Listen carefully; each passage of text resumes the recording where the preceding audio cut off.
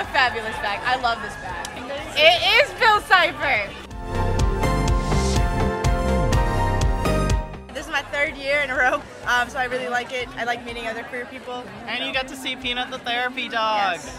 Loud, lit and full blast now. It's just like a really like student-oriented, student-focused community that we have at the center. Be scared and messy, take the risk you found. I like the event so far.